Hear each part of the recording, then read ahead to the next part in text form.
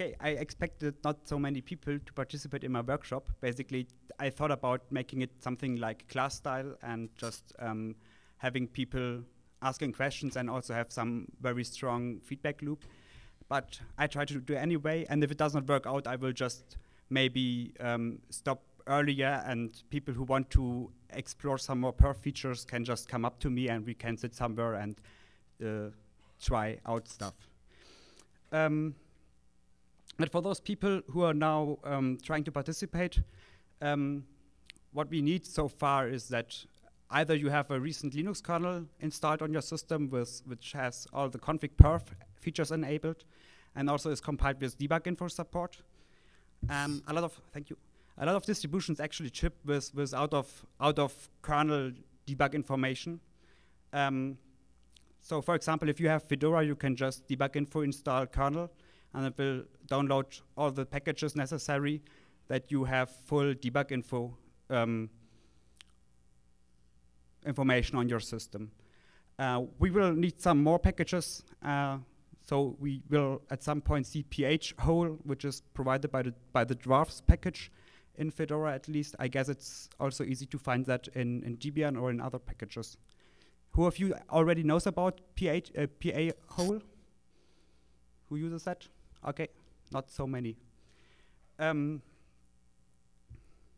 okay, so I guess the, the biggest problem nowadays for, for perf is that at least if I talk to people or show, try to show people what perf can actually do, is, is that the debug information is correct. And nowadays it is like um, that the compiler always embeds a specific build ID into the system, uh, into, into the object files. And the object files then can kind of get hashed in this specific path. Uh, can you see the mouse pointer? So in this specific path, user lib debug build ID, and um, oh, you cannot. I just I just switched to mirror mode. Sorry.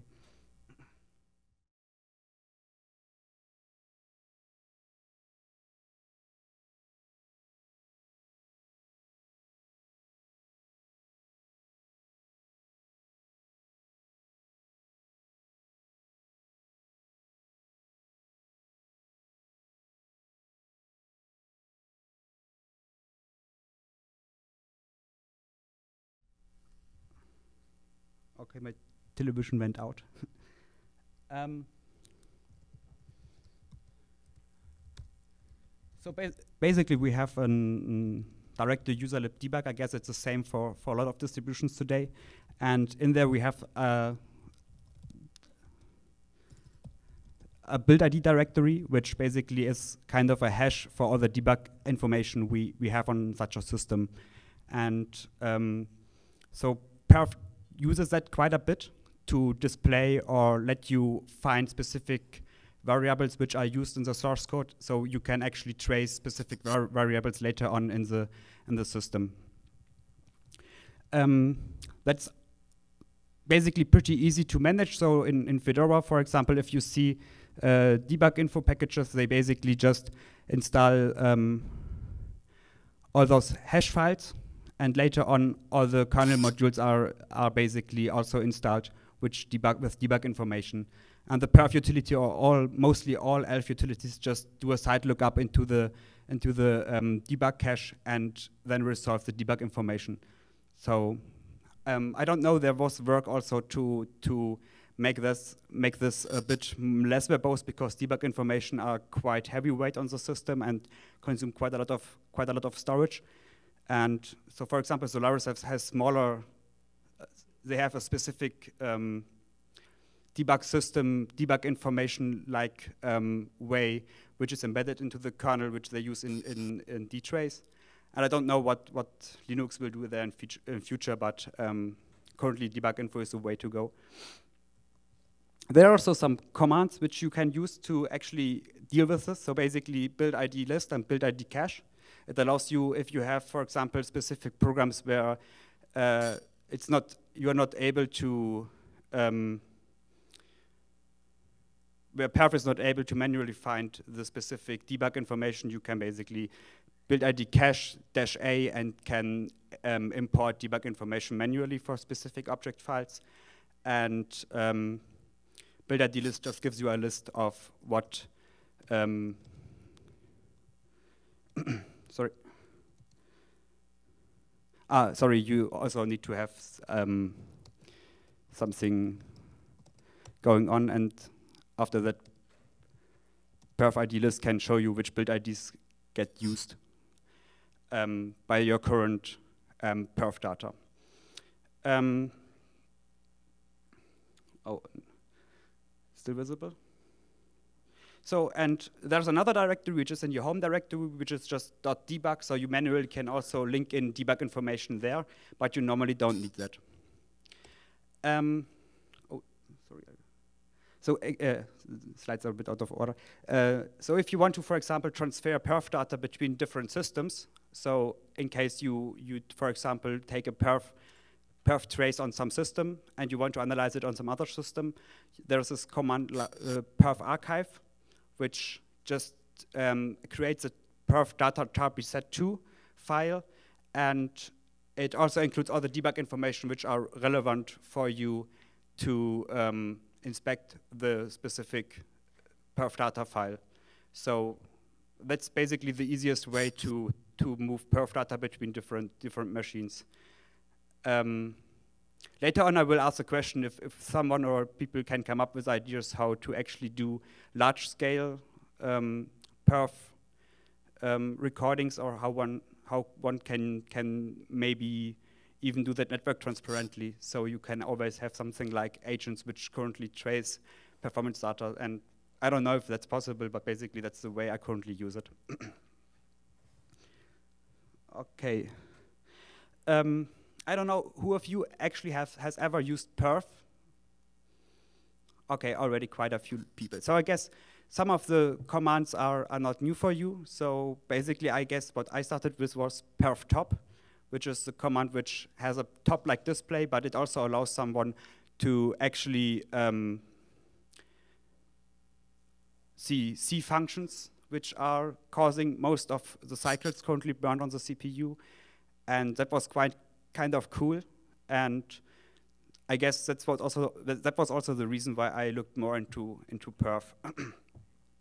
So for those people who don't know, uh, perf top, it basically just gives gives you a specific top-like view, and you can browse around and look at the symbols which currently acquire most of the of the cycles. So it, the default event which is currently used is, is cycles, which just basically gives you the number of uh, or just looks at where uh, most of the CPU cycles are burned in which C function. Um, most of those uh, most of those commands actually share most of the command line options, so it's basically pretty easy to um, adapt things. So most of the, those commands use dash use dash e, for example, to specify an event, and um, so you can always transfer some of the command line options. Um, the next command is perfstat, which is basically pretty easy. It just you can just uh, specify um, a binary or a, a workload to run, and it just gives you an output of, of what basically uh,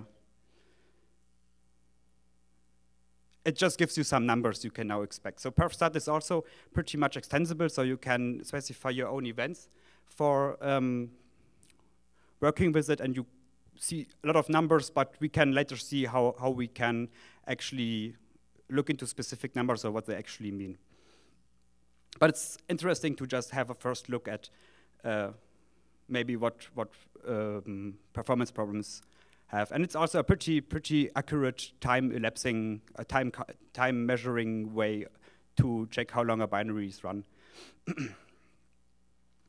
so, but most of the time we we in perf we use something like postmortem analysis. So we record or we uh, spend quite some time to try to find um, the correct ways to measure things and afterwards, we, we start a perf record, run the workload multiple, multiple times or one time, and then afterwards, we, we just have a massive perf data file, and we try to analyze it. And so this perf data file is mostly generated by perf record, and it it's just generated in the um, local directory. Um, And perf record is basically the same like perf stat or like perf top, so it just samples events or counts events, and it just creates a file like perf data in your current directory. And further on, um, most of the commands which don't do analyzing or don't do ins directly insert stuff into the kernel work automatically with this perf data file. So you can, of course, manually say which perf file you actually want to use, but basically the default is the perf, the perf data.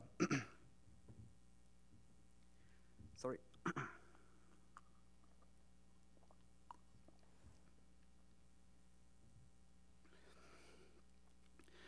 um, and there are some other very important commands, which is, for example, the perf list command. Um, perflist is basically giving you a, a nice overview of, of what um, your current system supports for um, events you can trace. So we do have some hardware events, which are basically caused by, by the hardware itself. Um, those are specific performance monitoring counting reg registers, which you can program in a way that, for example, you can specify how much events, uh, you can specify a sample period. So you just write how many events should pass until a specific interrupt is being fired. And when the interrupt is fired, the software can take an, an, a measurement at that moment and can copy that into the perfring buffer, which then gets used, uh, gets pushed into user space. Um, so they, those ba basically um, are sampling events. You can either specify a frequency which, with which you want to measure them, or you can use um, a sampling period or sampling count, which you want best. Um, I even don't know what, uh, we can later look in how that works. And there are some kind of software events. Software events are basically events which the kernel fires itself without um, you having, or without the hardware doing anything. That's basically for minor faults or major faults or CPU clock cycles, which are pretty much easy to to just. So basically, there's just a function call, or just some some specific trace point in the in the kernel which just fire those specific events. Um, we have quite a lot of hardware cache events which help you to look into how the caches are working if you have misses or if you yeah if you want to just improve your caching behavior of your current of your current system um, we will look a bit more into that soon. Um, branch loads and branch, branch load misses and branch instructions um, are kind of new support in, in perf um, I haven't played with them that much until now. It's also bec mostly because I don't use the new CPUs all the time. But it seems very interesting currently. So, um, especially a very cool program which uses branch uh, branching instrumentation in perf is AutoFDO, which is now released by Google, where they actually take perf captures and convert them to GCC um, profile-driven feedback uh, data. So GCC can automatically, for example, do com the complete likely and unlikely instrumentation, or the likely and unlikely annotations in the code without um, further, uh, further thinking of the programmers.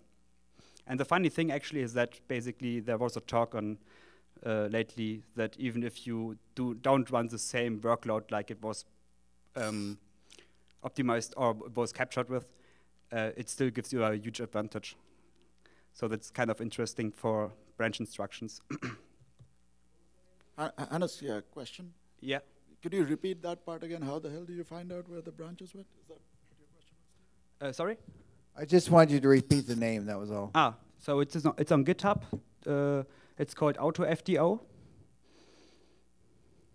And support for the feedback, um, yeah, that's basically the project. Uh, Google slash AutoFDO on, on GitHub.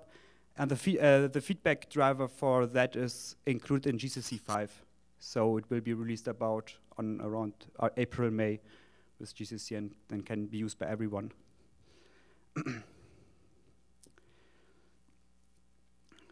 um, yeah, there are also some power management and other events. You have raw events, and then you have the specific trace point events, which are just again um, trace points which are specifically um, implemented in the kernel at some point. So there are some macros which allow you to very easily specify trace points and export them to user space, which kind of is also a problem. And you will later see that we don't have a lot of events for the networking part, especially TCP, because it is considered by David to be some kind of user space API, which must be kept stable. And so if we change something in the networking stack, uh, we need to try to have a stable, still a stable trace point. And so it's not, there are not a lot of networking specific trace points nowadays. Um, but maybe we don't need that.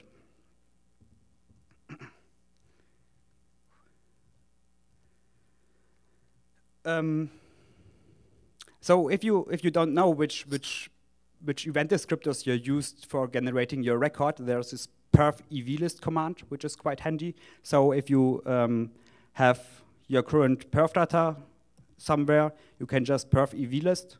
And if you just specify the both. you can see also the sampling frequency. So we currently sample with 4000 hertz and some other specific flags you can see which were automatically used by, by perf record.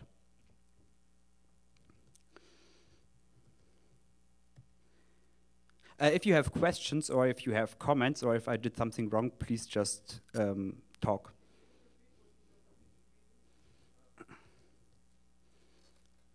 Sorry, I. So the question is what? I'll repeat it for you. What was the question? Re repeat the EV listing. I don't know. I'll put it and I'll give you the mic.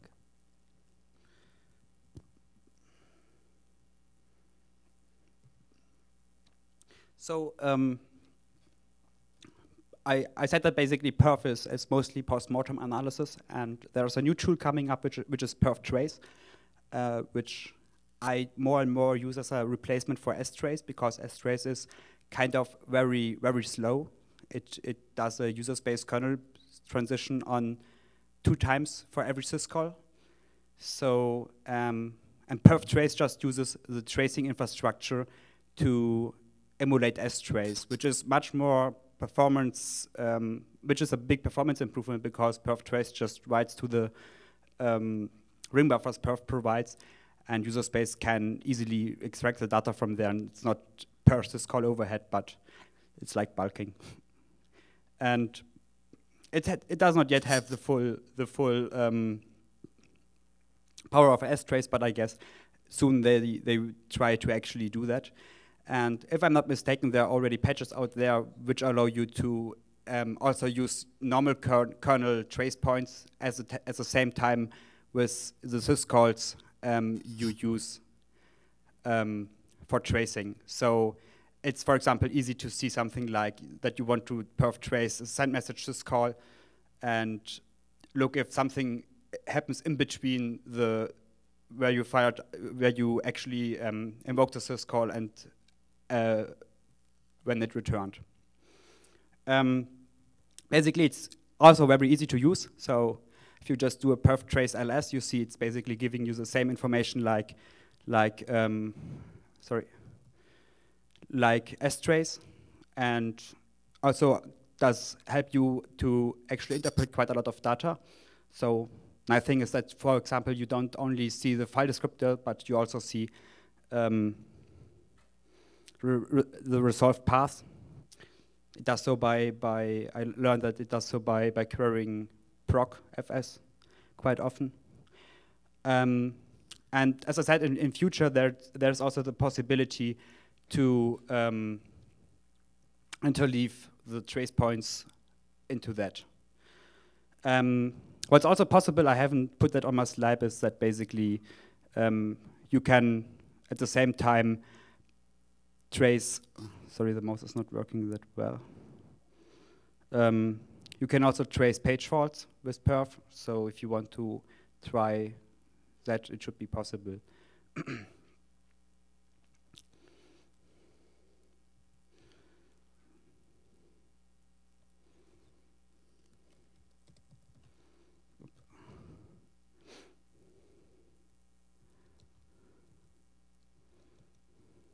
I've not yet used that feature and I've seen it just one week ago. we can have a look if it generated something. No, I don't think so.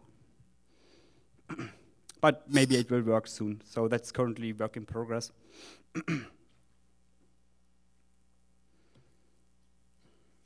yeah, so after you have after you have basically um, recorded all your data, there's there are multiple ways to to actually analyze the data. Um, there's most of people, I guess, use perf report, which is um, a kind of nice graphical, so basically graphical user interface to um, just look at the data that was sampled. Um, depending on, on which options you used during um, during the record, you can also inspect the call graphs, other stuff, and go into annotation mode, so you can basically see um, where performance, where you could improve performance. We will later see more examples about that. Um, there's basically perf script. Perf script without arguments just gives you a very easy to grab and maybe even shell uh, shell process uh, way to look at the data. And but it also allows you to to implement small scripts with Perl and Python, which already we will let see that later on, which already have the correct callbacks to um, the, co the correct callbacks for your for all your events, and they already pass the the uh, specific arguments they collect in the kernel by Perl or Python arguments. And there's perf annotate. Perf annotate basically gives you an assembler view or a source code view with source, source code and assembly interleaved and annotates you which hotspots perf found in your in your code. Um, oh, we will see those tools later on a bit more closely. so if we now try to play around with, with perf, um, there's this setting, so basically perf, depending on how which distribution you use, um, you're not allowed to use perf as normal normal user, but I tend to actually on my systems to to give full access to perf by my users because I normally don't want to to um, always write sudo. So most of the time, I think it's perfectly okay if you are on a single single user system that you just enable perf for normal users, and it makes some some stuff more more easy. okay. Any questions or comments?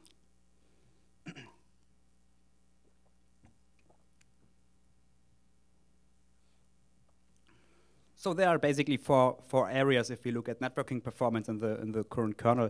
Um, we, we tend to have algorithmic complexity, which is basically if we look at, at how algorithms are, are built.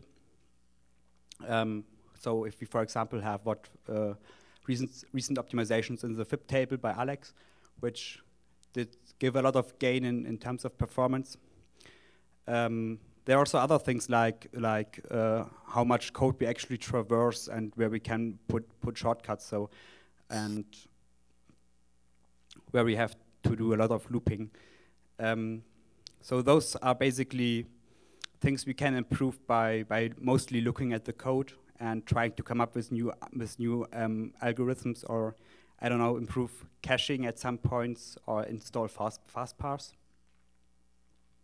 Then a huge area which now nowadays comes up more often is memory access behavior. So uh, we have multiple CPUs fighting for the same memory locations all over and um, trying to exploit parallelism, but actually not really exploiting it in a way that they contend often on specific memory memory locations and um, so that's basically a problem on scalability in the current kernel.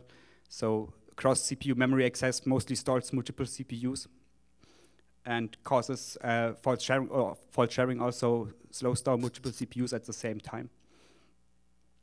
Then uh, we have, it's also a bit like algorithmic complexity, we have assumptions on network traffic. So for example, if you, if you um, look at specific offloads we have in the kernel, like um, receive offloads, they, they are only working if, for example, specific trains of packets are are uh, are received in in a short period of time, so they can get aggregated.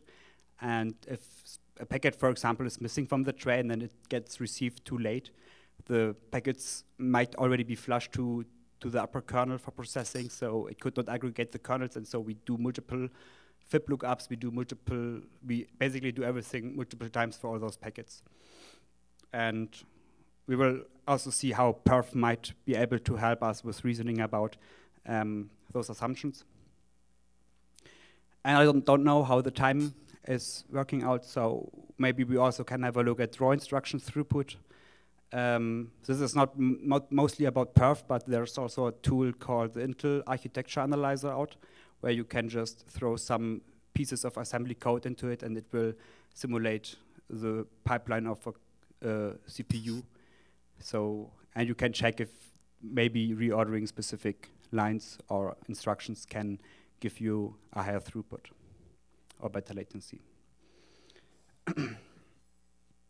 so, um, in the first field, algorithmic complexity, we it's basically most easy to just really use something like perf top and um, just try to to sample cycles, in my opinion, to find the most used or heavyweight heavy weighted users in the in the system. Um, and for that, basically, um, uh, a new syscall was implemented. So um, this is basically just looking a bit how, how perf event or how perf works and how those um, PMCs are programmed. Um, there's one syscall which is perf event open. It has quite a lot of arguments, not that many, but um, it's a bit more complicated and I guess one of the longer man pages in the kernel manuals. Um, you, you can open it for specific kind of event, like for example for, for the hardware cycles, like we saw in the perf list command. And um, it can do and it will return you a file descriptor, which which you can uh, do two uh, kinds of things, like sampling or counting. So if you specify a sampling event, uh, you normally just memory map um, a ring buffer from the file descriptor and just process the ring buffer. In case you do something like where you don't have to, where you don't want to to sample stuff like just counting, um, you can just use read and normally get long, long values from the file descriptor. Um, yeah, as I already explained, we have quite a lot of event types, which are um, which you can specify as um, events in perf event open. Um, we will look at a few of them later on. so specifically for hardware events, you can look at perf list HW, which gives you the current um, list of, of uh, hardware events.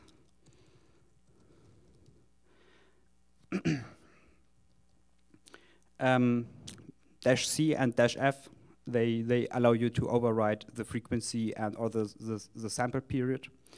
And um, as I already said, that perf ev list dash v shows you the perf event attribute or the attributes to the perf event more closely.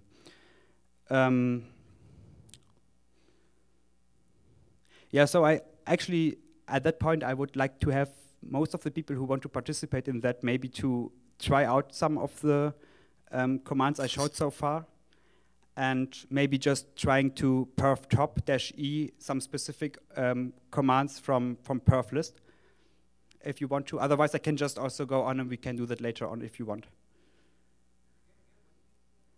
So either you just now try to play around with it a little bit for, I, I don't know, five minutes and just look at the counters your system provides and look at perf top or perf, um, perf top dash E, what you actually currently see on your system as, as most uh, showing up functions. Um, or I can just go on and finish the slides and later on in a closer group talk, do that.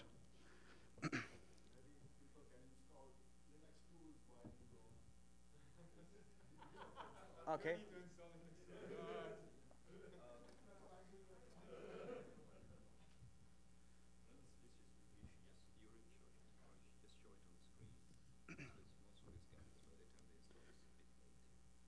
Okay.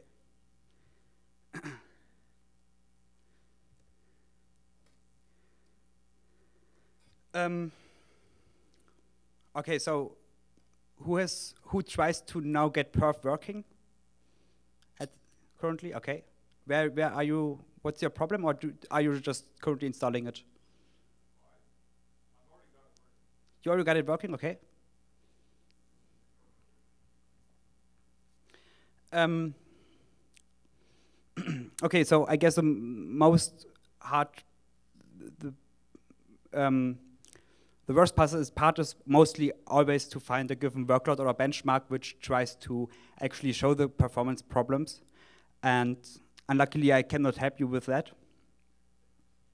So most of the people, I guess, use just use NetPerf for that.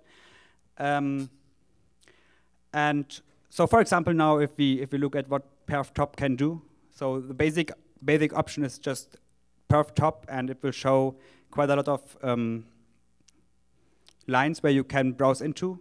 There's also always a help with small h, with the letter small h, where you can do quite a lot of other things, but we don't need to do that right now. The, the interesting thing is basically how to deal with, with events. So um, PerfTop mostly allows you only to trace one event at one time. And um, we now want to focus a little bit on, on the hardware events. So hardware events also have some, some modifiers. And um, so basically it's the same thing if you do just perf top or perf top dash e cycles. That will give you the same the same view. So the dash e cycles is a, is a default. Um, but over time it was noted by, by AMD and, and Intel, I guess at AMD first, that because of the high, um, the, the length of the pipelines and when instructions get retired and, and actually are dispatched, uh, there's quite a huge latency between them, especially if you think about memory reads and memory writes.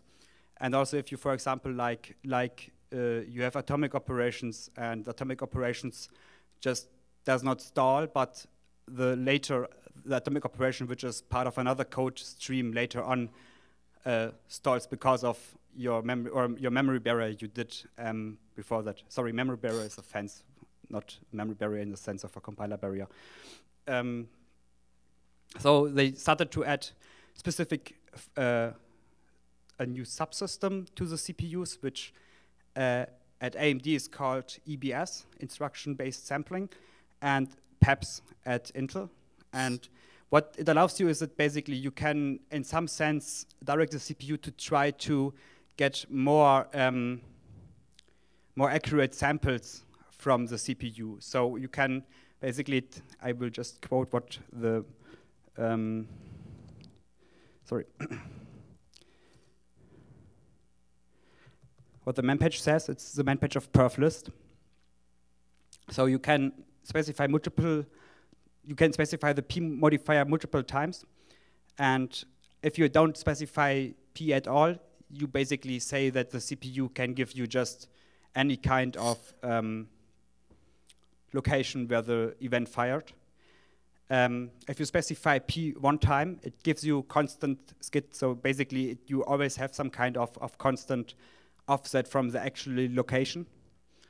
And you can try on two, two level two, basically on AMD and Intel system, where it tries to actually reduce the skid as much as possible and give you the instruction where actually the fault is.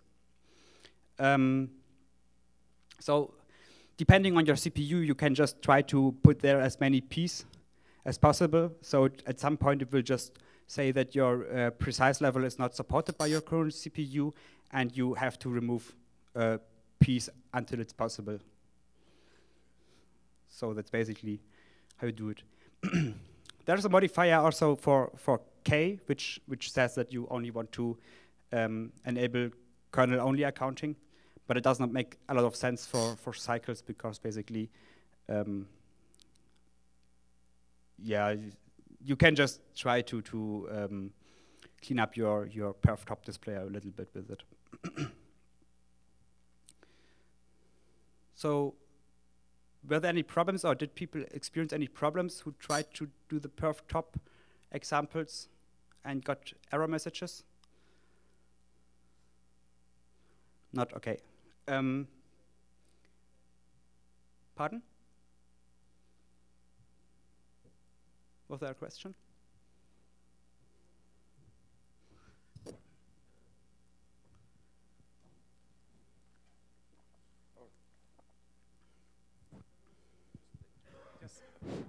Uh, it's a cycle and then column PPP or what?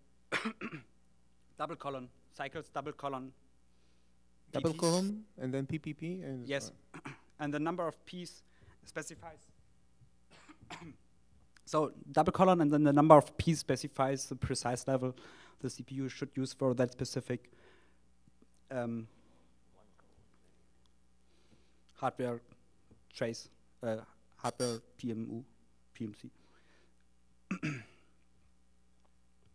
You can also try. So there's there are quite a lot of other different um, flags which you can use. So I mostly am interested in kernel performance. So I most of the time use the the K for kernel counting.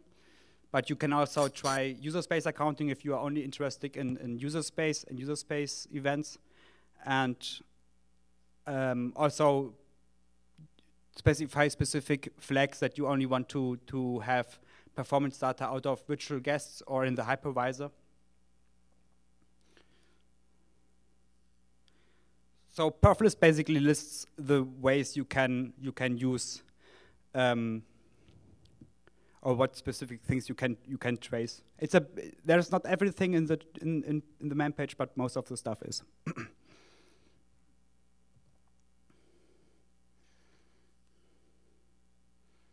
so what you can do with it is, if you look at algorithmic complexity, if you hit a specific worst case workload, it should basically be pretty much at the top of PerfTop, and you can try to find ways to to solve that.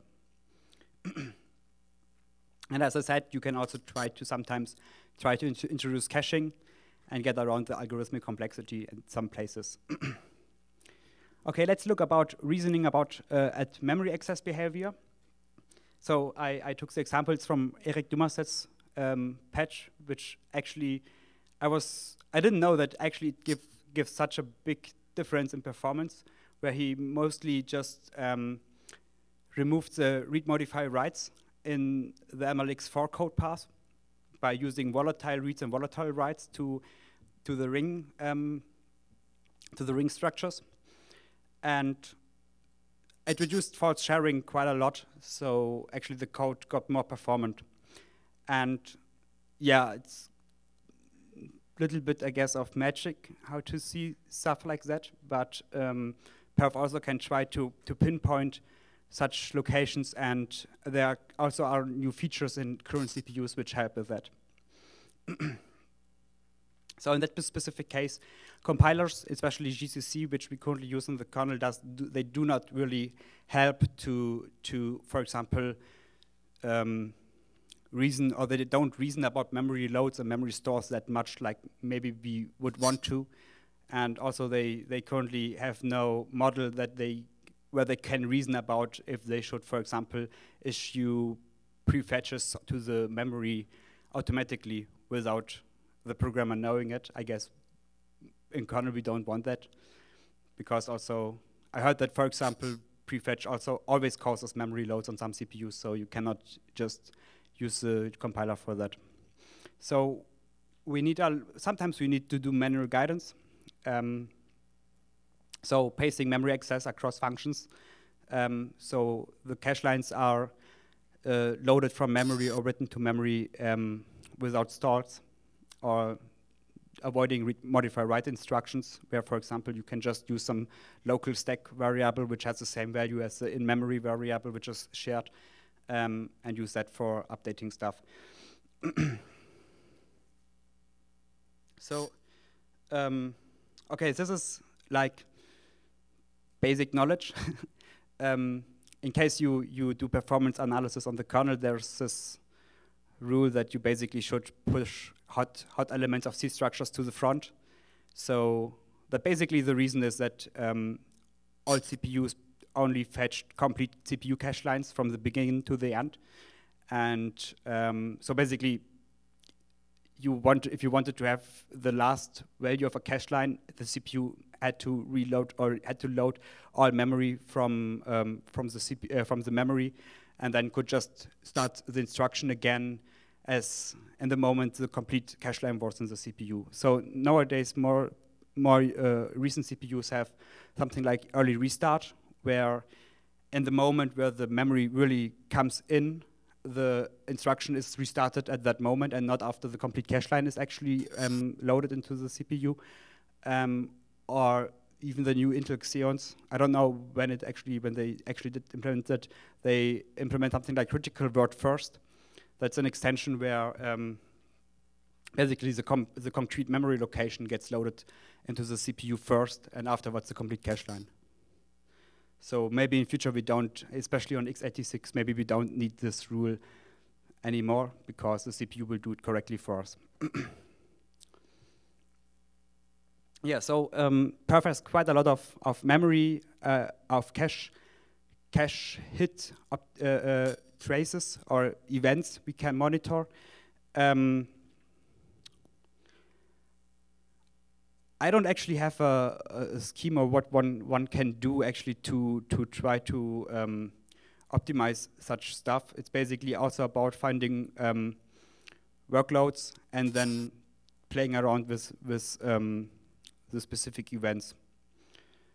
I guess we, I don't know. There will be some exercises later on. Uh, a new tool came in, so this is also re related to the PEBS, to the precise levels I explained earlier, which got introduced with PEBS and IBS. It's uh, perfmem, perfmem record and perfmem uh, record and report. And the interesting thing about it is that basically PEBS and IBS do not only give you more precise level, but they also provide you with the specific memory address which caused the hit or the, the, the uh, or the miss in the caches. So what perfmem allows you is actually to see which memory location did um, hit or not hit the cache. And it's basically um, a wrapper about, around perf record. So most of these perf lock or perf mem or perf kvm are commands are basically wrappers around record which just do some fancy stuff with the arguments. And in this case, they use the CPU mem loads with two precision levels. And um, there's an opposite command, which is perfmem store, which shows you the, the stores to the memory. And it's basically an alias for the CPU mem stores with double precision level. um, I can show you something like that. So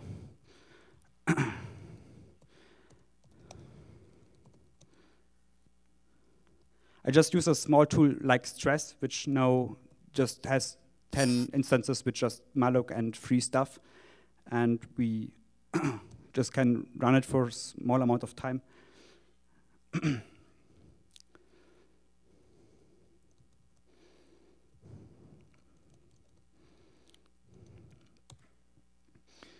oh, it's, it's a bit. so after we, I, I just press Control C, so um, uh, we now have a perf data file, and I can, by just running perfmem report, I just, the report tool just uh, opens the perf data file and displays the results. And that is basically what we get.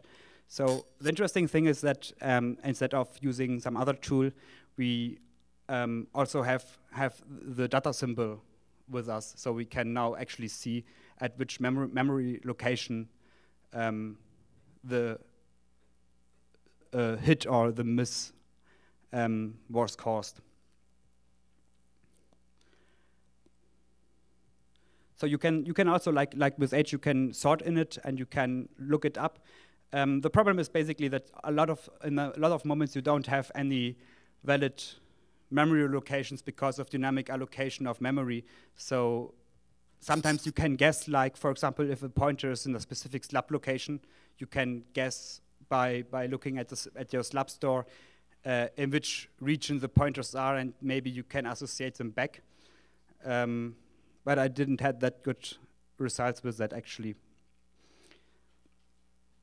So um, yeah, so this is basically a feature which which also came in with the PEBS and IBS support, and since that was implemented, every every um, event has a specific additional data uh, associated with it, which basically says at that moment which memory which memory address um, is causing the specific event.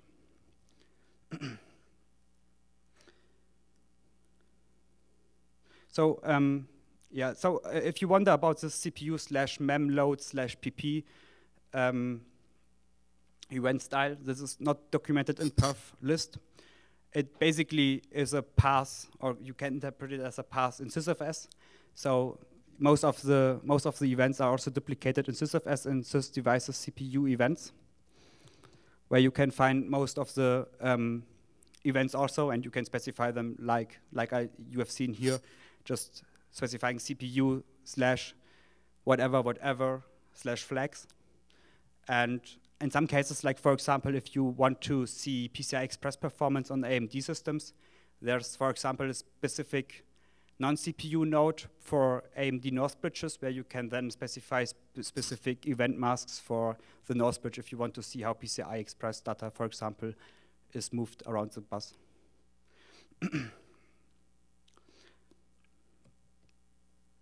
um, there are also some other cool tools, but this one is unluckily not available by default because you need to enable a lot of debug options like lockdep for that.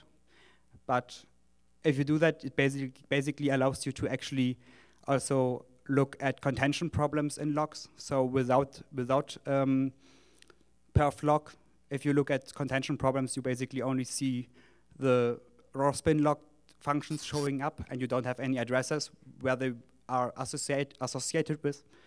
And as soon as you have the perf lock command, I'm currently running a locked up enabled kernel, so I can show you now. Um, so if we know, for example, I don't know, I hope this generates some kind of pattern we can use.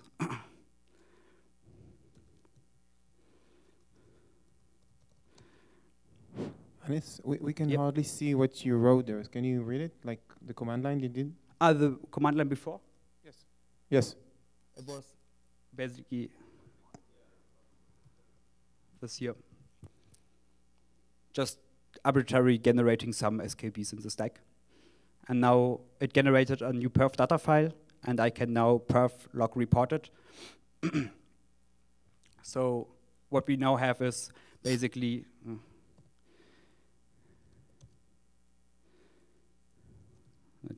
a bit too large. I guess if I pipe it into a less dash s, it might. Ah. Oops, sorry.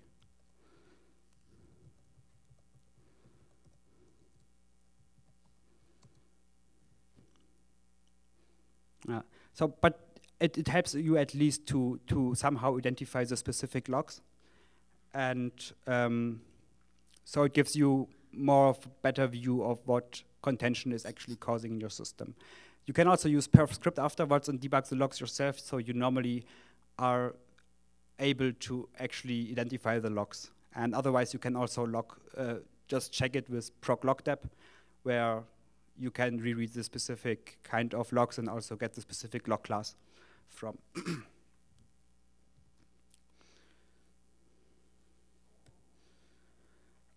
okay, so um,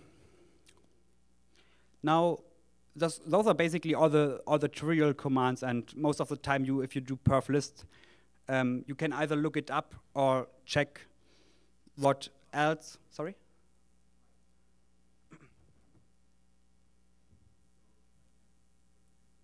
yeah. Yeah. So about lockdep, lockdep is uh, quite expensive, so it's very disruptive. I usually use minus G sort of to get the call graph. and it basically works for every kind of event. Yep. And usually by looking at the call graph, you can have a pretty good idea where uh, the lock contention, if any, happens. Yeah, that's also true. I just wanted to present the tool because it's also a s- special tool in, in the perf repository.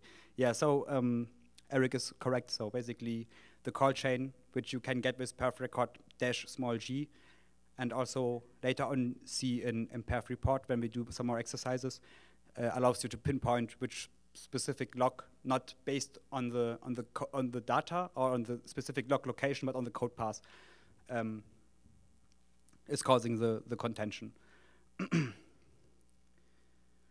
so um, Andi Kleen, who is working for Intel, has a pretty amazing suite of, of wrappers for um, perf, which is called PMU tools. You can find it at GitHub. Um, I hope if you have internet, you can now git clone it because it also, I, I hope you have Intel CPUs. um, you can clone it, then we can have a look at the tools a little bit more, and you can maybe just play around with it or have a look at it. Um, so basically, it's on GitHub PMU tools where you can clone it, and then I can show you some more things you can do with it.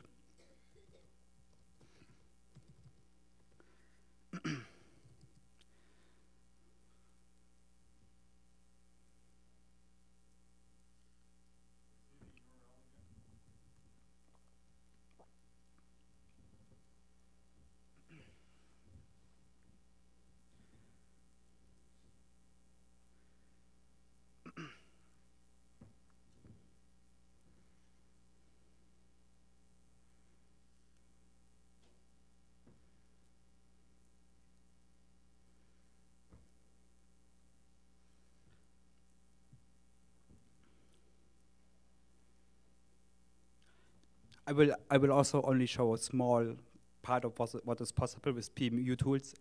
They he also has tools to actually do performance gathering on a uh, algorithmic way. So if you, for example, have specific workloads and you want to analyze them more concrete, there are some wrappers around that.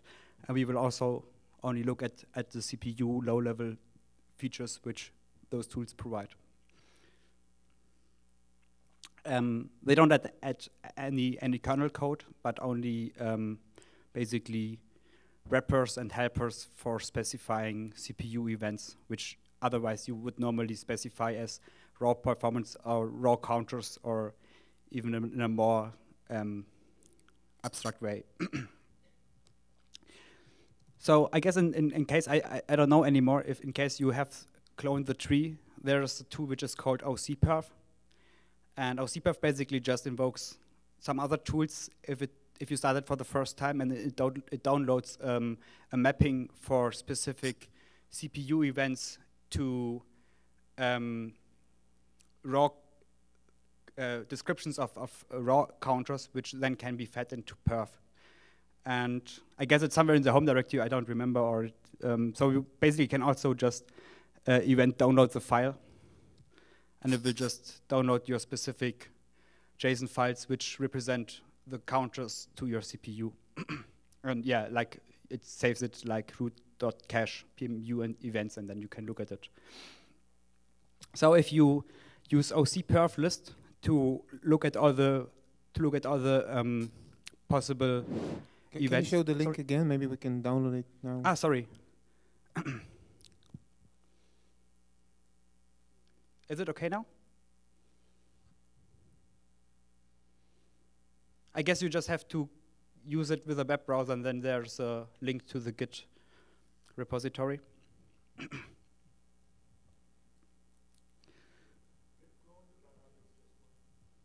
Yeah, okay, thanks. Uh, so git clone to that address just also works.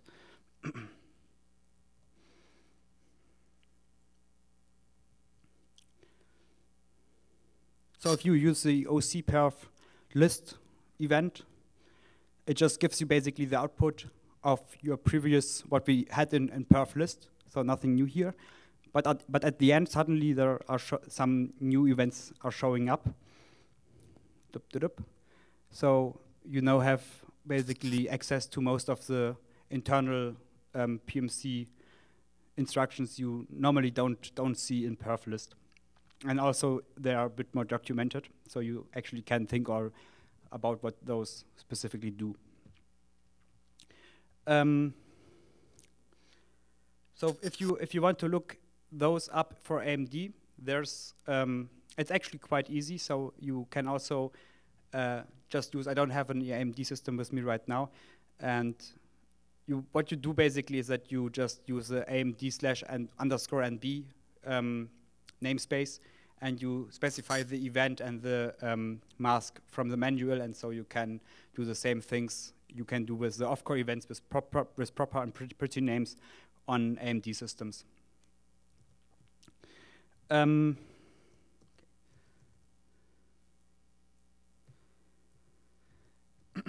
so what you can, for example, see that, for example, if, if you look at a lot of um, memory-specific issues, you can, you have the possibility to um,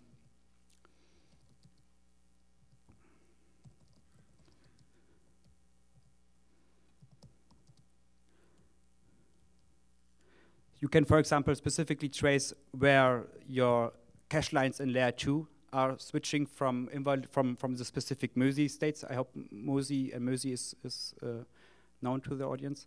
So basically, in, in the cache, there are always states associated with each cache line on if the cache can be is, is shared between different CPUs and can be read. Currently, if it's invalid, it must be refetched from from different memories, and um, if it's, yeah, basically all, the, all, those states. If you don't know about it, just, um, I guess it's pretty easy to just uh, still have it open to, to look it up in, in Wikipedia. So there's MOSI and states, different, uh, uh, depends on the CPU you are using. And it just allows you to have a look at um, when specific code evicts specific um, data from the cache lines. So if you want to, you can now just play around with it and maybe just if you have some user space programs, um, use uh, ocperf-e. You can always include as many events as you, not as many, but you can mostly in, uh, add multiple events at the same time. And so you can check where and when specific memory is uh, being evicted from the cache or is uh, requested for ownership. So basically all other memory is invalidated and your specific CPU wants to have um, full access to the cache line.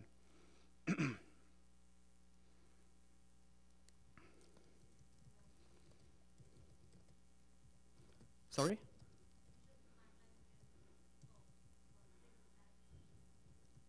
Uh, sorry, I didn't understand you.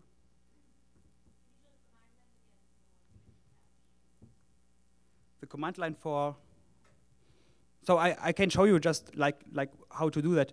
Um, so you use the ocperf command, and you can just specify dash e record, and then you can just pipe in multiple events like that from from this um, specific um,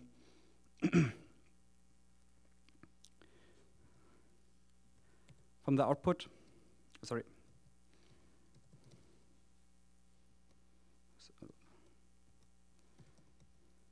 And then you can run your workload on it, like um, uh,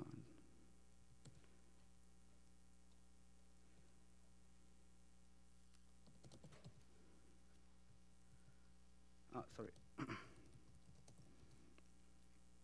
And it will now measure the cache line, uh, where the cache lines get faulted in and faulted out. And if you run the command, you can use any command or even a sleep with dash A for monitoring um, your kernel. And if you then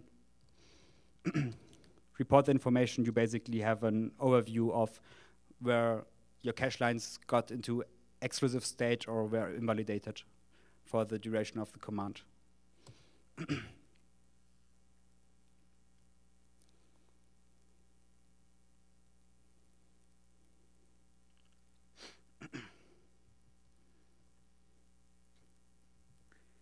So I, I would like I I I think if you want to to um, it's very interesting basically to look around what what com uh, what commands every CPU has, and also to always check the CPU reference manuals, which well a lot of those command uh, a lot of those events are actually described in more detail. Um, always be also be aware of that that not all commands are supported by all CPUs. So sometimes you try to trace something and you think that you don't hit this the specific event, but maybe it's just not supported and you always get back a zero counter.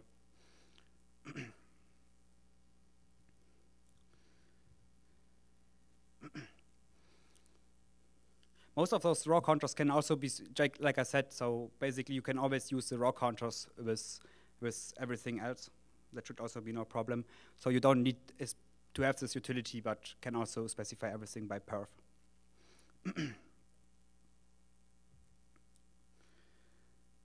okay, we are now leaving this hardware-specific uh, region a little bit and go into the assumptions on networking traffic, um, which deals a bit more with tracing and actually reasoning about logic in code. Um, like for example, we, we now have different assumptions where we can actually speed up network traffic in the kernel. One is XMIT more. So XMIT more allows to not do the MMIO barrier or MMIO write on all SKBs we transmit out of a specific interface, but we can now batch them and, for example, can send five packets at once without with only one time touching the um, expensive tail of a the tail pointer. Um, during receive offload, we, we often see, or we hopefully get paid, uh, packet trains, which generate, uh, which result in aggregated S, uh, SK, SK buffs. Um, and we sometimes also want to know, for example, if the aggregation is, is working and if it really does aggregate stuff. We can, for example, also monitor if route caches evict um, destination entries all the time and try to, to re, um, reacquire them, or checking if flow sensitive, uh, if the packet steering does not work correctly and we have cross CPU calls from, from some um, code. Um, and to do that, basically, we, we can specify probe events on our own. So what we now try to do is that um, I have an example with XMIT more. So we try now to pinpoint if, if we currently really use XMIT more on delivery on during the delivery of packets. And we can do that without any trace points. We just, or without any predefined trace points. So we only do specify um, probes on our own and try to reason with the source code to now find a way to specify a, a node or a probe which gives us this information. um, So hopefully, I guess if, if you don't have correctly working debug symbols, that's currently the moment where it will blow up. so um, in the networking system, we have a few functions. So basically, the most important command you, you know will see is the perf probe command, which with which we actually modify and install probes and remove probes. And like the chaos, uh, information, we, we have a perf probe dash um, big F, where we can see all function all the functions where we can now um, insert or which we can reference with perf and where we can try to look into and um, check if we somehow can install probes in it. So if you look, look around, basically we have quite a lot of, of functions. We also have most of the networking functions in there, so quite a, quite a lot, I guess. Uh, sorry. So you basically can can set a lot of trace points already in the in the code in the kernel without actually using anything predefined. Um, so in case in case of of uh, XMIT more, there's a problem that nowadays we tend to use a lot of static in, uh, static inline functions, and those static inline functions are not representable as, as functions if you look at the binary, so because they get expanded inline in the source code. So there's often the problem basically that um, you need to dig down or you need to find actually a function which is not static or which is exported, not exported in the sense as export symbol, but only exported from the object file. So it does not get, uh, get does not get um, optimized away. Yeah, sure.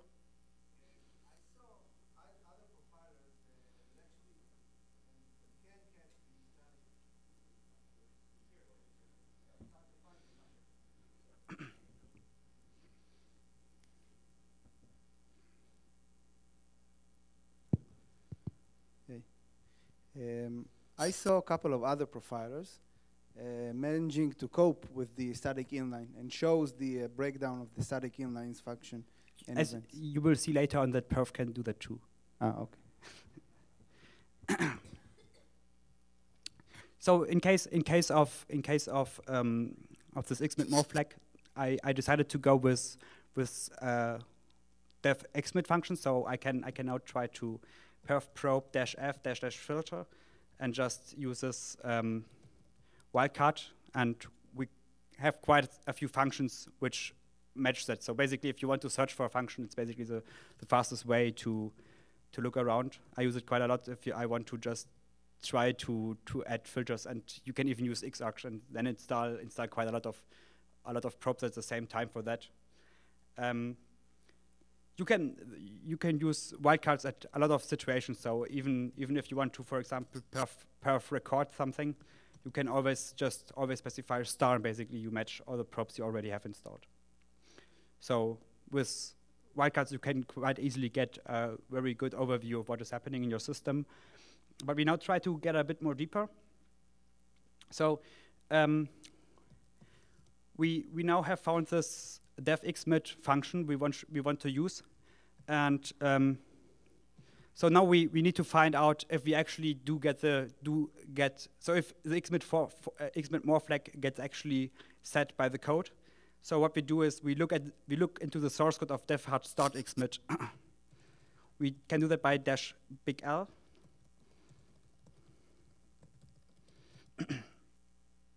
And what you now see is that basically a listing, listing of the source code and the lines which are numbered um, are uh, lines where you can install trace points. So it's now possible that, for example, you say, I, I, want, to, I want to install a trace point on a specific uh, line, and then on that specific line, if, if code actually reaches a specific line, that trace point actually gets fired. so what I did here was um, I decided for line number 17. I don't know if it's correct anymore, but I will just go on with it. Um, and there's another option which is called dash v, where you can, at a specific location, ask perf to give you all the possible um, variables and symbols you want to trace. So what we now do is um, asking perf what variables are in your scope, we can actually get into the perf probe, so we can actually relay all those those variables to user space and later on and later on um, check on the specific value. Um, and as you see, if you look to, into the xmit1 function, um, we specify the boolean, also so xmit1, the last argument basically is a boolean, and if the boolean is um, is set, then we basically tell the driver that we will have a train of packets now going out of the uh, out of the driver. So what we want to do is basically check if the next pointer is null or is not null. So we need to specify a new probe. And um, do you see my mouse? Ah, okay. Basically, it's already here, so I'll show you a few more tricks what you can do at the same time. Um, can, I guess I cannot copy paste it in the, so I just have to type it by hand. So I, I define a new probe, which is called DHSX, just shorthand for devhard start xmit. If I wouldn't have specified anything, it would just use the, the function name as the probe name. Pardon? Oh, um, sorry um, if you look at the perf probe output sometime, you see that stuff gets optimized away and you sometimes have to pinpoint a little bit more because, uh, sorry?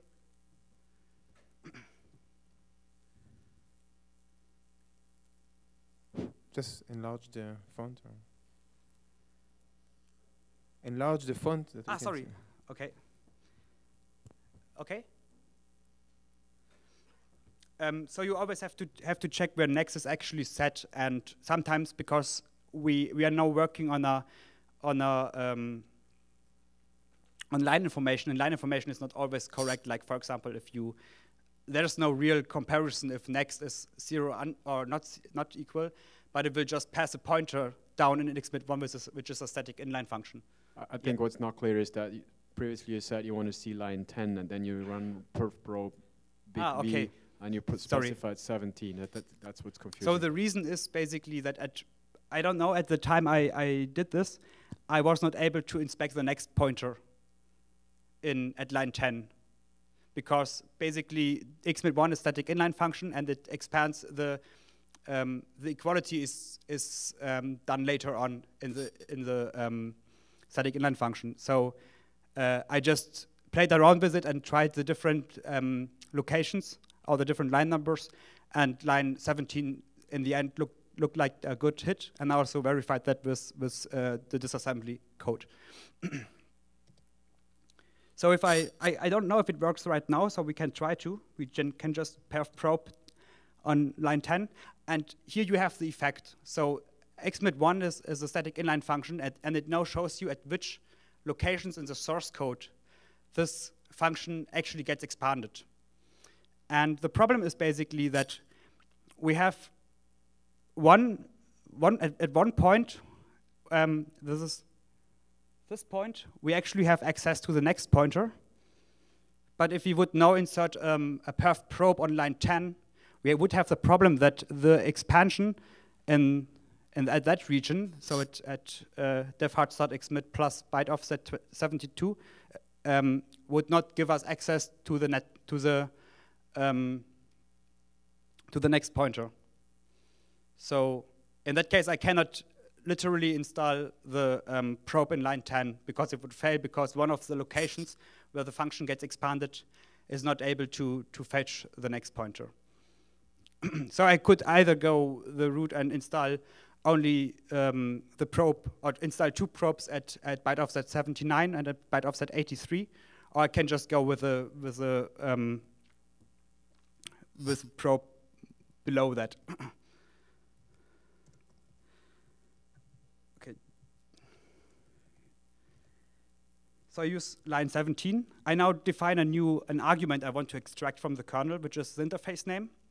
Um, I just it's just my, my, my name, so you can write everything there.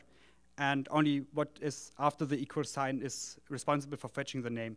So we have, we see that at line 70, I, uh, sorry, I just, this is the variables I have available.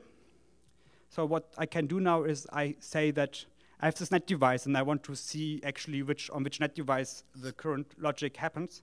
So I want to pretty print the name of the net device. So I can just use uh, dev name and specify the type as string. So it will just give me a, a nice string um, for the specific line when, it, when the source code hits it. And at the same time, I want to extract the xmit_more pointer, which I know where I currently just extract the next pointer, but in reality, basically, I want to have a Boolean indication if the specific pointer is uh, zero or not zero. so we can then insert the, pro the probe, and perf now tells us that basically we can, just by running this, this command, we can now, sorry, we can now start with tracing. I don't know if it worked, but we can, so we, we have no samples, but we can now do some other commands like um, let it sleep for a little bit longer and hopefully in case we connect to the Google servers, we can at least get some visible effect of that. So let's see. Oh, sorry, uh, I just not, uh, I was thinking about GRO at the moment. Um, what would be a good example for that?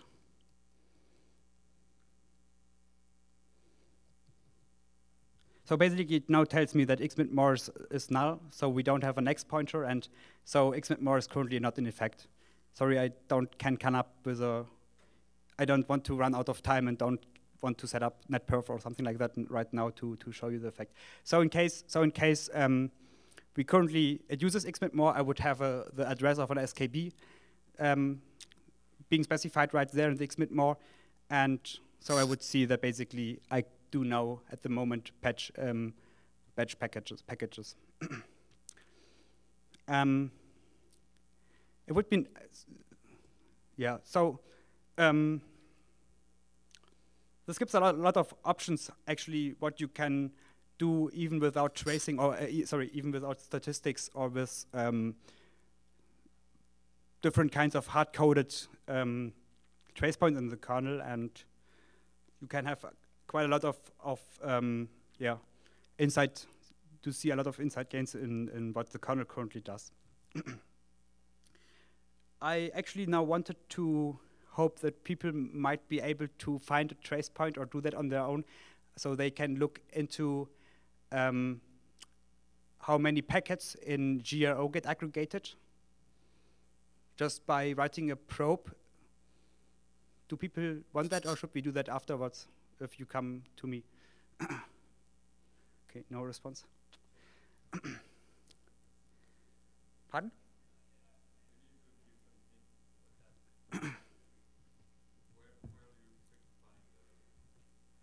so uh, okay, first question: Does does everyone know what GRO actually is? Sorry. So. Um, Maybe you can show that if you want. Yeah, I will. um, basically, GRO is is um, a way to aggregate packets in. So what what GRO basically does is during one NAPI call, um, so it it tries to fetch multiple packets from the hardware uh, at the same time without any any um, rescheduling. And if the packets match up, so for example, if you have two or three TCP packets and they match up in sequence numbers and in flags, and um, you just aggregate them to one TCP packet and send it up the kernel. So instead of actually processing three packets, three independent TCP packets, which would be much more intensive if you think about all the algorithmic complexity and stuff like that, it would just process one packet, would, would do one routing lookup, would do one append to the socket queues and stuff like that, would only fetch or, or only log, um, log one pointer. Um, yeah, and basically the problem is that, that GRO is, uh, we kind of rely on GRO today for good performance in the kernel. So it's always best to actually have this aggregation in place. And yeah, so exactly we, we what we now want to do is uh, trace when um, or what we want to check when aggregation is actually happening or at which point we can um, use that. Okay, um, those who know actually what GRO is maybe can try themselves to now resolve this problem, and otherwise I will um, now help a little bit.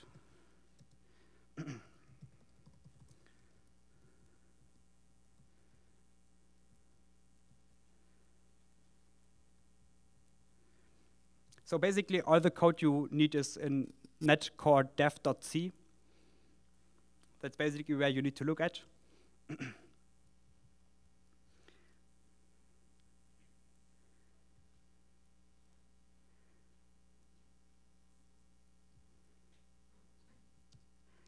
So it's not that easy. And I currently don't remember the specific trace point myself, but it should not be too hard either.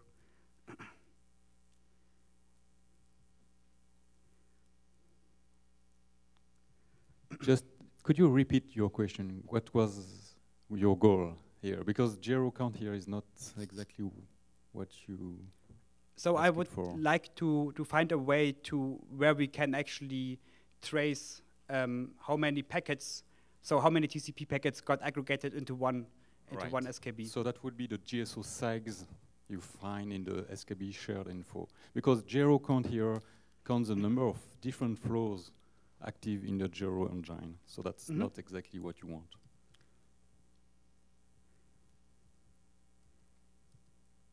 I currently also have to, to look around and don't know specifically where to place the probe.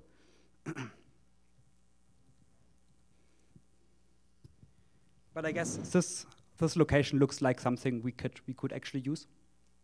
Do you agree, Eric? E Eric, I think he wants to find a place where you flash yeah. it and. Pardon? Yeah, that would be that. okay. Um, I just wait a few seconds, maybe until people can catch up. if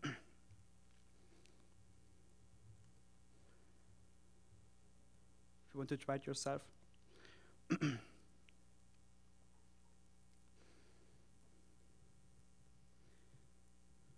So the, the function is called napi complete.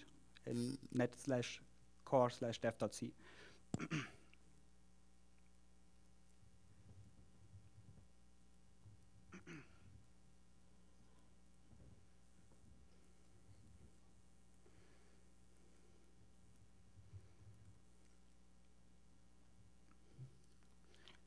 So what what you normally do for the if you want to try to find um, a way to or get an overview overview you just um, look at the lines in this function and with dash l like I showed before so you see there's at least some way where you have access to the SKB and um, you could somehow think about extracting this count. So, for example, line 9 accesses the NAPI GRO CB of the SKB and compares it with something, so it must be somewhere around in the memory. And we need now to get hold of that specific count and uh, trace it or uh, give it back up to user space. so we can just look at uh, what we have available at line 9 by using dash v. And we actually see that the SKB is visible for us right there. So there's another problem now because, um,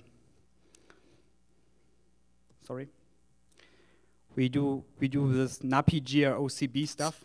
So NAPI GROCB has a problem that basically does it's an unsafe kind of unsafe cast, and we now need to specify memory offsets in perf. and luckily, kprobes allows us to do that. So we can specify um, we can specify a, a, fetch arg, so something where we fetch um, memory or we, where we have a symbol available with an address which can be resolved by by um, by perf, and we can specify an offset to that. So it it allows us to um, peek into the CB section of the SKB and extract the value. so for that, we need to add a new probe and NAPI complete. and actually, I, I, again want to know on which interface this is happening, so I use skb dev name dot double colon string so I get a name where the SKB was, was arrived. And now we need to look into how we can get access to the um, to the specific offset. so um, we know basically that we can just use the SKB as, as a base pointer and we now just need to to look sorry to look into into the offset. And unluckily, I guess I want to know check if we can now recalculate the offset, and for that I will just reuse. Um, sorry. Ah, von Larcher. I'm I currently switched to the to the debug kernel of Fedora, so I re, re, uh, need to do, redo the calculation where the specific um, SK um, offset is. So we have this tool pahole, and now I just need to extract my current VM Linux to do that.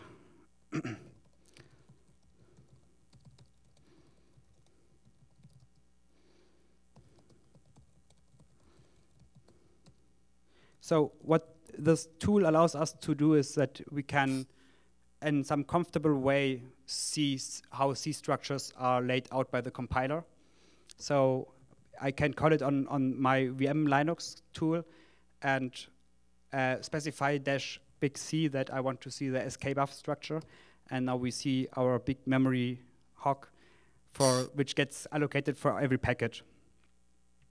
And it's actually a pretty handy tool, and I guess you should actually include it into your report repository of debug tools um, because it can show you where cache lines are, where you have still um, bits and bytes, where uh, where holes are in your structure, And also, um, it can even automatically, I guess, dash big R. It allows you to even automatically reorganize your structures to remove the paddings. but the problem basically is that uh, NAPI, so we can only find the CB in here, which is basically this part of memory, which starts at memory location 40 and uses 48 bytes. Um, so we now need to also look into um,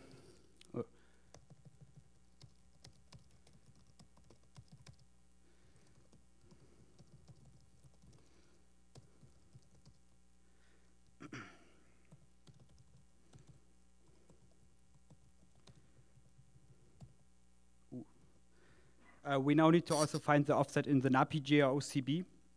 Um, I kind of think it's maybe easier to actually try to do that via GDB and just extract the, the location out of um, out of the disassembly.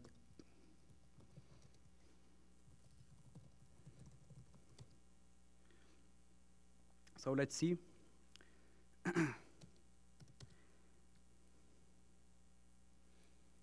So we have this compare with one and uh, RDI. I guess it might it might make sense if that's the if that's the memory address of our SKB, um, and then it seems natural that OX3C is basically the offset to the SKB into the CB.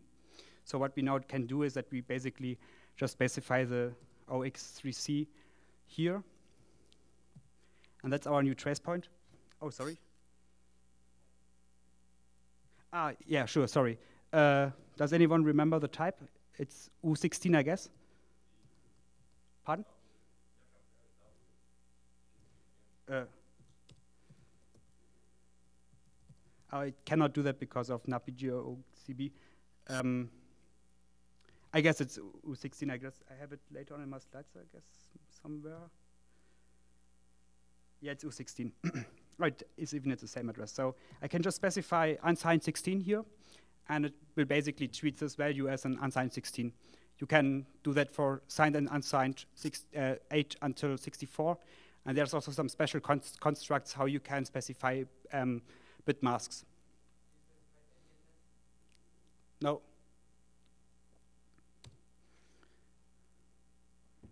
Okay, we still have, I still have a problem. U64 doesn't have a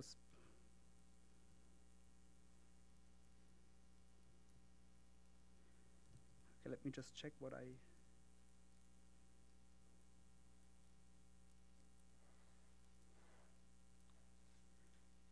I don't know why I specify U16 and it says that U64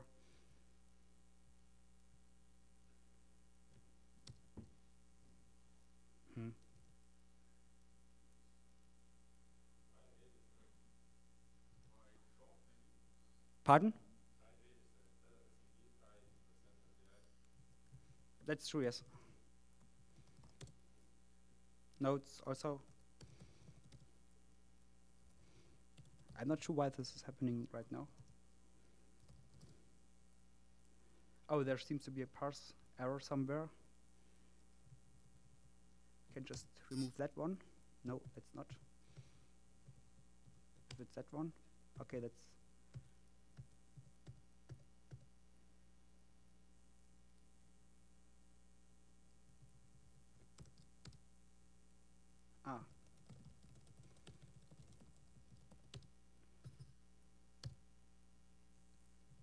still not happen, working. So perf dash d probe wildcard does remove all probes from your current kernel.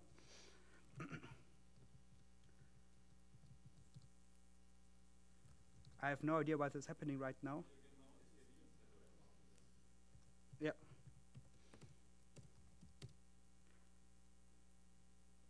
Uh, uh, RDI was wrong. I would have to use DI because I I'm not allowed to use the the um, R specifier, the length. So it did work with percent %di. Um, so now we can try to do that, to use a probe.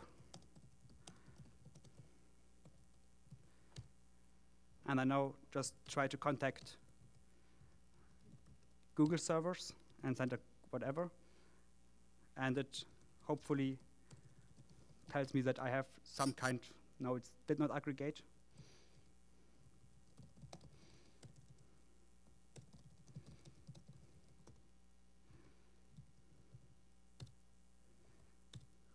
Hopefully that does work some at some point.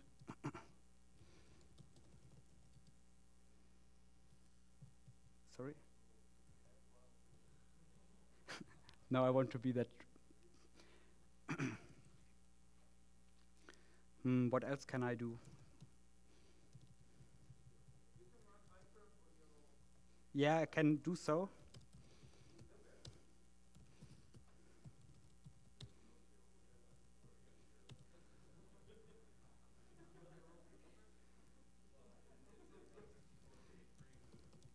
Ah, that's loopback, that does, yeah.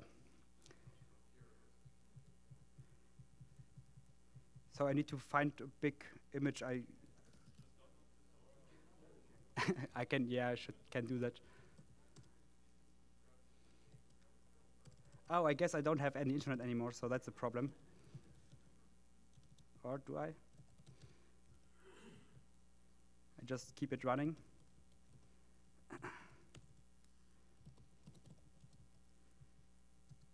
does still work, so I try to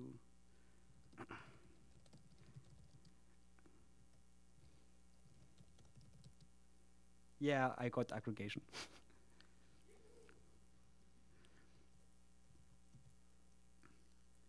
okay, so um, as I showed you, if you use a dash v, you actually do see where inline functions also get expanded, but there are sometimes sometimes you really hit problems where it's really hard to find the assembly, especially currently perf annotate does not allow you to to to um, if you have huge amounts of static inline code into static inline code, it really makes it hard to follow that even in GDB, and sometimes GDB just stops to expand uh, uh, static inline functions at some point. I guess the level is eight, and after that you're a bit screwed and the chance that you can actually inline, uh, that you can actually specify probes on, on such code is, is not that good.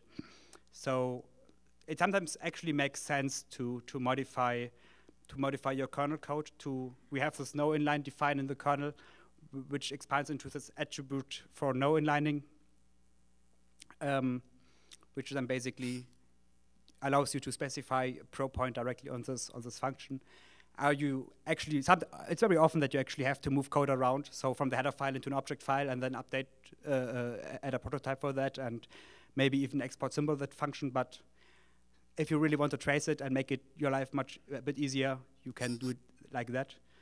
Um, for if sometimes stuff really gets very very uh, strange, you can also add your own volatile variables and just uh, um, extract some data into this variable and then use it with perf to. Excuse to me. Yeah, sorry. Next question. But even if I remove the static inline from some of my function, uh, sometimes the compiler can uh, inline it anyway. So, so that's the reason why you can specify no inline, and no inline really will force the compiler to not inline the code. But it has a semantically different behavior. So if you look, for example, the GCC manual, there are different kind of how static inlining works and when static inline does not become static inline. So for example, if you have a static inline function, but you also have a function pointer taken from the static inline function, it will generate a locally static inline function which is not inline anymore in the specific object file, even though it was only included by the header. So you see the problem? So you suddenly yeah. start to have multiple same named only local static inline functions and multiple object files, which then get, get linked together. Yeah, I understand. But sometimes it's it's hard with the kernel. We tried uh, uh, not long, long not long uh, time ago to uh, compile the kernel with uh, without optimization, and, it, and apparently it, uh, without optimization. I don't think that works actually. Yeah, it doesn't work. Yeah, yeah because because the build bug on macros actually they, yeah. they depend on the removal of the function calls, and if you leave it them in there, you you actually have undefined, not resolvable linker errors. Yeah, yeah. But um, I just wanted to say, I, I said it before. Maybe we can uh, look at it uh, sometimes that I, s- I did see some other profilers like OProfile and uh, VTune. Uh, I actually have to say that basically I don't use it anymore. So I actually kind of always find the correct pro point, and even though I I I uh, um, do have inlining effects a lot, and current disassembly disassemblers are pretty bad, I think. So maybe you guys can tell me if you saw some other disassembly tool which you use. I basically use GDB with Emacs. Um, or sometimes on systems where I don't have the setup, I just objdump the whole vmlinux binary into one large file and wrap around. That takes quite a while. Basically, the problem is that you sometimes you need the disassembly to source code equivalency, and that's sometimes really hard to get if you have a lot of static inline functions. So, and that's not a, not, not a problem of the tool of perf per se, but it's a tool, it's a problem of you trying to understand the code. yeah, so basically what you also can do is is uh, is using um, volatile variables to extract stuff and then just poke on the stack. There's a lot more in in, in uh, what you can actually actually uh, use or capture. Um, there's also the perf I can show you. Um, perf probe dash f dash dash externs, which also shows you all the, the public visible symbols at that point, or I can do that with dash y dev hard start xmit. Oh, sorry.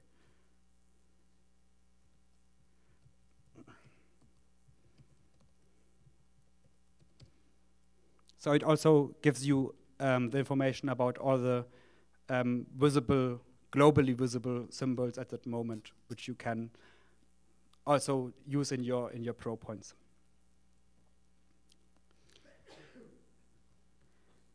Um,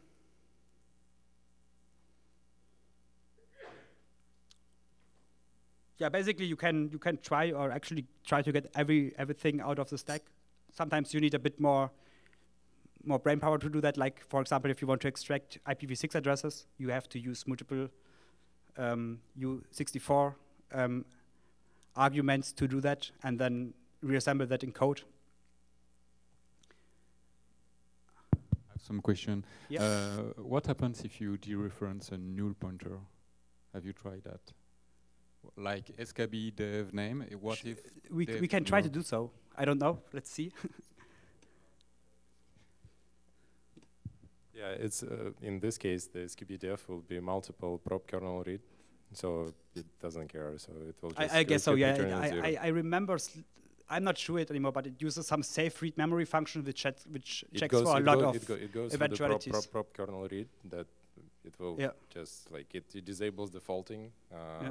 Just So it what we can we can try it like I have this XMit more thing still around here, and we can now just uh, it's an SKB, so we just dereference the def, and I give it another name.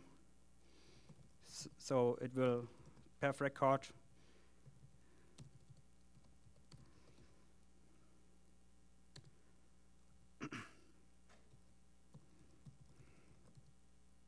Should already work. Yeah, so it just gives me a null pointer Eric, even if I have a dereference. um, okay, any questions so far?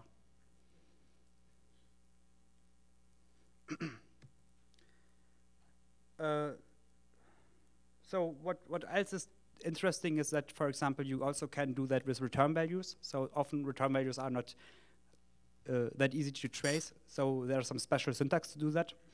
Um, in case of this dev hard start xmit, you can specify a percent return on the function name, and the return value is in the dollar retval variable. Question? Yeah. Uh, so the one the one thing I know don't fully understand yet is there was uh, a method to modify an offset. When would you actually use that? Since it didn't work for the SKB to uh, GSO segs um, pointer. Why when, when can you actually use it? When, when is, is there cases where you don't have to use the actual register value or the, the actual register name? Actually, I'm not sure why. I will have a look at it. So it showed to me that basically at that point I have the SKB available. Um, actually, currently there are quite some bugs in the code which are, are already fixed upstream. But for example, this return and read thing I can also not show right now because there's a bug in it and it already doesn't does not correctly register the probe point. But uh, in older or better, uh, so in other kernels it currently works, but my kernel is currently not able to do that. So it might be a bug, I don't know. So it also there's also differences in in perf does have two ELF backends. So you sometimes also get different results if you use elfutils or the libelf stuff. So it's you always have to double verify if everything really is as is as expected. Um, just uh, so if your if your debug info sometimes is, is messed up, so for modules you sometimes have to to actually dash m and specify the debug information for the module. If you, for example, now start to trace in IEEE, in the wireless stack, this is just an example. Just you just have to specify where the extracted debug information are for uh, the specific module. Normally, it should work without doing that. And the cool thing is that basically works everywhere, not in the kernel, so you can use this dash x and you can look into user space too. So all commands I just showed you are also available for user space. You just have to specify either the shared object and also you need to have the um, debug information available for them. And then you can do the same thing in user space, basically everywhere, which is kind of cool. Um, okay, I not not so basically if there are, as I showed before, but I don't think I do any more examples on that. Um, so ooh.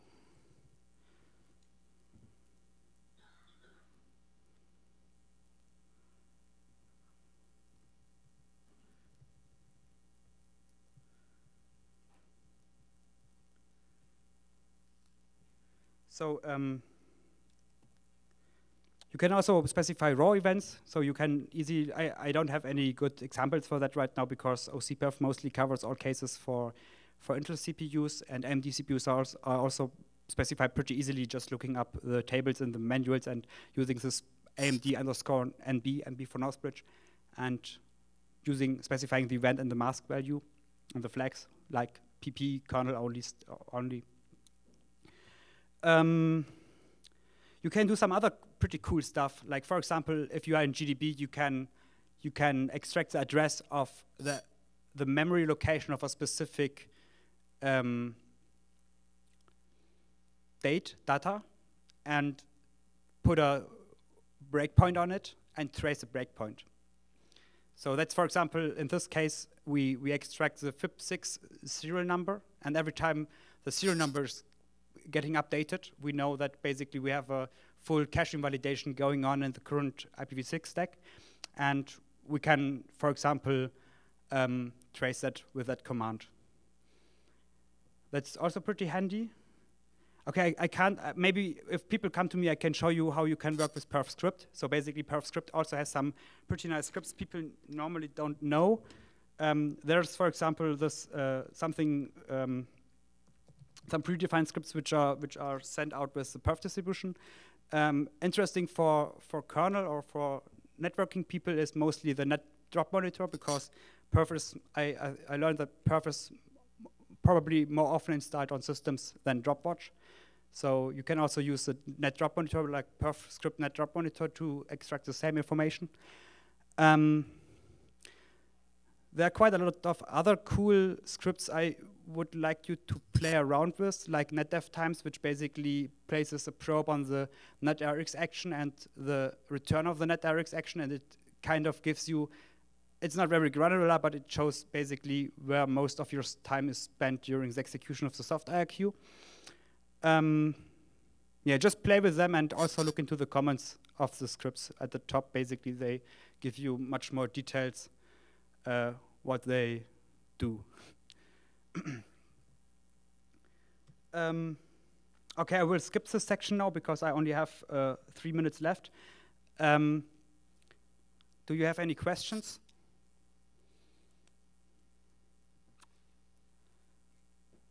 Okay.